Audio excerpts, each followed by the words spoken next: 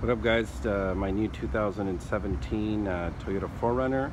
Just making a quick video, some upgrades that I did to it. I just installed the roof rack.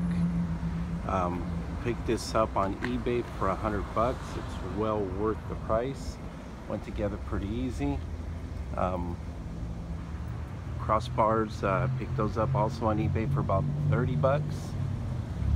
Really not a lot of uh, videos on this truck with uh, the roof rack on it so I thought I'd post it. Pretty firm pretty secure. I did uh, hit it with some uh, flex seal not to give those guys any props but uh, stuff works really really well. Keep all the dinks and the scratches off of this thing.